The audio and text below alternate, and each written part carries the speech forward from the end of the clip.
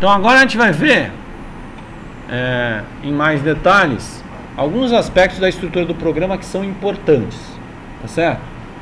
E mais especificamente a gente vai falar de pacotes. Então retomando, as coisas em Java acontecem dentro de classes. Aí daqui a pouco a, gente vai estudar na próxima aula que é uma classe. Hoje não, tá? É, e todo programa inicia com uma função, com um método, com uma assinatura que é essa aí. Tem que ser exatamente essa. Bom. É, bom, agora a gente vai falar do conceito de pacotes, tá certo? O que vem a ser um pacote? É que eu dividi em dois grupos os slides, eu não lembro direito porquê. Deixa eu ver se nesse aqui eu falo o que vem a ser um pacote. Acho que não também. Ok. Então, vamos falar agora. O que, que vem a ser um pacote? O pacote é uma estrutura para organizar o, a, um, o teu sistema em Java, tá certo? É, o Java ele já foi preparado de, de fábrica para suportar grandes aplicações, tá certo? E uma das coisas que a gente vai aprender em grandes aplicações é que você precisa aprender a segmentar, dividir em módulos, dividir a complexidade, tá certo? É, e um dos elementos fundamentais para o Java, para organizar as coisas, dividir essa complexidade, é uma estrutura hierárquica de partes chamada pacotes. Então, você, você pode e deve organizar o que você está desenvolvendo numa hierarquia de pacotes. Tá? Não existe uma regra única para você fazer a hierarquia de pacotes. Vocês vão aprendendo comigo, com o tempo, algumas práticas que são usadas, tá certo? Mais para frente eu vou mostrar para vocês que o pacote ele pode ser uma assinatura, principalmente quando você quiser que as pessoas reusem o que você está fazendo. Você não vai querer que a sua estrutura de pacotes colida com a estrutura de pacotes de uma outra pessoa. E aí a gente vai ensinar algumas práticas que são usadas, como usar a URL ao contrário e outras coisas para que isso não aconteça. Mas agora, nesse momento, você só precisa entender que o pacote é uma estrutura hierárquica, tá certo? Eu posso ter um pacote, um subpacote, um sub-subpacote, em quantos níveis de pacote eu quiser, tá? Em qualquer um desses níveis eu posso ter código Java, qualquer um deles, certo? Ah, mas aqui ele tem três níveis. Eu posso ter Java no primeiro, no segundo e no terceiro? Pode. Simultaneamente? Pode. Em qualquer nível do pacote você pode ter código Java. Certo? Não precisa ser só na folha ou no último nível. Tá? Então, o package, que é o pacote, em Java, ele tem uma nomenclatura que são cada nível de pacote separado de ponto. Tá? Que tem que equivaler há uma estrutura de pastas no seu sistema operacional. Tem que valer. Tem uma explicação para isso mais complicada que eu vou dar lá na frente, que tem a ver com visibilidade, vários controles que você faz quando você desenvolve sistemas grandes. Por enquanto, vocês ainda não estão em condições de entender isso, tá certo? Então a gente vai só saber assim. Você consegue organizar em pacotes. E logo de cara o Java vai recomendar que você faça isso. Então vamos, vamos fazer aquela repassada. Eu não vou mostrar agora para vocês pacotes no Júpiter, tá? Porque na verdade no Júpiter os pacotes eles são mais difíceis de entender no começo, porque o Júpiter, pelo menos o BigRX, que é o que a gente está trabalhando com vocês, ele foi feito para se parecer muito com a coisa interativa do Python. E por incrível que pareça, ele ganha vantagem para coisas iniciais, mas na hora que você quer fazer um negócio mais complexo e usar pacote, ele fica complicado de usar. Então eu não vou mostrar pacote no, no Júpiter agora. Tá? Eu vou pular, pular o Júpiter. Eu vou mostrar pacote no código, no comando de linha e eu vou mostrar pacote no Eclipse. Tá certo? Bom. Então vamos começar mostrando o pacote no comando de linha. Certo? Então a gente vai voltar para o nosso velho bom é, nossa estrutura. E aí vocês lembram que eu tinha uma pastinha Java. Né? Vou fechar essa pasta aqui que ela não está servindo. Essa aqui também já não vai mais servir. Eu tinha uma pastinha Java aqui e eu criei esse Hello World na raiz da pastinha, tá certo? André, agora eu quero para trabalhar com pacote. Pois não. Vamos fazer uma estrutura de pacote equivalente a essa que tem nos slides, tá certo? Tem na raiz uma, um pacote que eu chamo PT, o PT vem de português, tá, gente? Não é o partido político. É porque na época que eu criei isso, não tinha tanta polarização em relação ao partido político e ninguém pensava no partido. Só que hoje em dia as pessoas olham, por que você começa falando do PT? Não, é porque é em português. É porque na verdade eu tenho código que eu faço em português e em inglês. Aí eu boto EN na raiz ou PT na raiz, que é aquela sigla de duas letras, tá certo?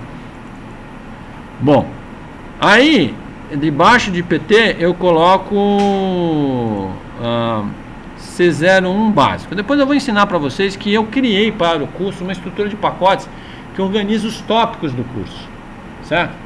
Então, C01 básico. Tudo bem? Criei aqui, ok? Bom. Agora, dentro de básico, eu vou criar um pacote chamado, deixa eu ver, S00 Hello. S00 Hello. Tudo bem. Agora eu quero fazer o seguinte. Eu quero pegar o código que eu criei e eu quero colocar dentro do pacote. Bom, primeiro eu vou apagar esse class, porque ele não serve mais, porque na hora que eu compilar ele vai estar diferente. Então, ah, mas só mudar para um pacote vai mudar a estrutura do class? Vai. Vai mudar a estrutura do class. Vocês vão ver. Então eu vou recortar esse careta e copiar para esse pacote. Que, que significa agora? Significa agora que o meu código está dentro desse pacote hello. É suficiente isso? Não. No meu código fonte, eu vou ter que colocar uma declaração package pt c01 s00 hello. Ah, mas por que essas duas coisas redundantes? Mais para frente vocês vão entender. Realmente é uma redundância que eles fazem. Você vai entender mais para frente. Oi. É, então o nome do pacote, o nome de um pacote não pode ter ponto? C01 básico. Não, não pode. Aí você também está forçando a amizade, né? Aí ninguém faz isso, ninguém põe nome, ponto no nome, né? Quer dizer, eu nunca tentei fazer isso para ver se dá um crash no, no, no, no, no Java. Eu convido vocês a fazer esses experimentos científicos, assim, mas eu nunca nem tive ninguém que pensou nisso, então. Tá? Mas é, não, não pode, não, porque senão ele vai, vai se confundir, tá certo? Aí agora, bom, aqui eu esqueci de fechar, eu devia ter fechado antes. Mas aqui agora, tá vendo que no, no Sublime aparece a estrutura de pastas, tá vendo? Agora eu sou obrigado, aqui em cima, a declarar package. Ele não deduz? Não, não deduz. Você tem que declarar assim. PC01 básico é, S00 hello. Isso está dizendo que esse meu código está dentro desse pacote. Certo?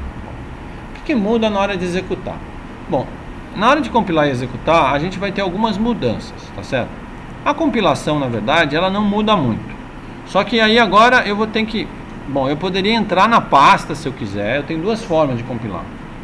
Eu posso entrar na pasta se eu quiser. Então eu posso entrar lá no pt C00A, S0A, eu posso entrar nessa pasta, por exemplo, e posso dar um javac hello world. Hã? Ah, é, desculpa. javac hello world. Ponto Java. E ele vai compilar. Então, se você olhar dentro da pastinha, você vai ver o class lá. Mas na execução muda. O compilador ele não está nem aí. Ele vai pegar a informação que está lá no cabeçalho e vai usar isso para já montar o negócio dentro da estrutura de pacotes. O, o modo de execução não. Tá? Tem uma história que vou mostrar para vocês depois que é o que ele chama de contexto. Ele tem que gerenciar o contexto. Então, todo modo de execução ele sempre parte do pressuposto que você está rodando ele na raiz do pacote, certo? Se você não fizer isso, você vai ter que avisar ele, mas eu não vou ensinar vocês a fazerem isso hoje, tá? Então eu estou no Java. O Java é antes da primeira pasta de pacote, é acima da primeira pasta de pacote, tá certo?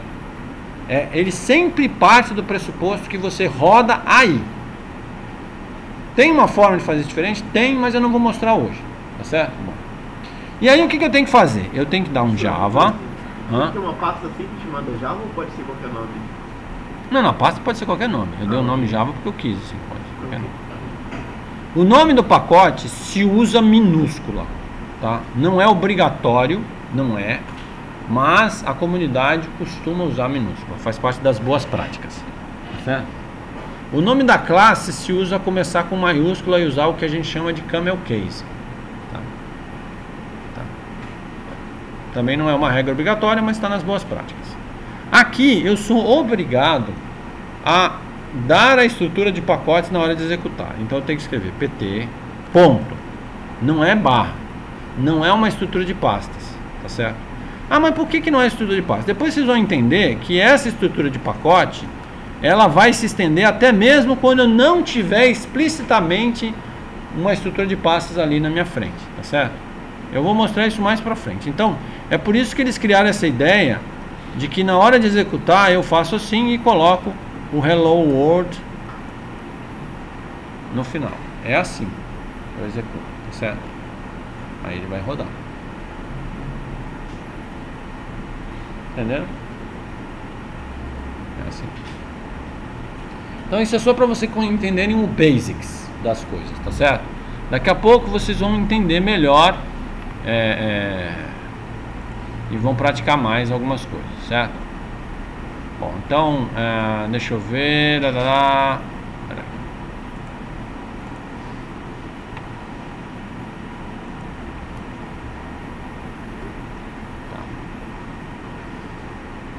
Tá, então essa é história dos pacotes, eu acho que eu mostrei tudo a história dos pacotes, né? Mostrei toda. Onde é que estão as capturas de tela? Porque lá nas capturas de tela, esse negócio de dois arquivos tá me deixando doido, né? É aqui. Aqui na captura de tela, então, eu tenho os slides que eu vou disponibilizar no ambiente, tá? Que tem esse passo a passo que eu fiz aqui, mostrando que no Java C você tem que usar o diretório do arquivo fonte, tá certo? E que ele compila o bytecode. Aí, tá vendo? Todo passo a passo está aqui representado se vocês precisarem reproduzir. Aí você tem a história que você tem que rodar no diretório acima da raiz do pacote, tá vendo? Então tudo que eu falei está aqui documentado, tá certo? O, o, o, arquivo que você manda executar, ele tem que ter o um método do main, senão ele não vai rodar. Note que você não explicita o método main. Isso você faz no C também. Você não diz que é o main, ele deduz que ele vai chamar o main, tá? É, bom, outros pacotes eu não vou mostrar hoje. Tudo bem? Alguma dúvida em relação a pacotes?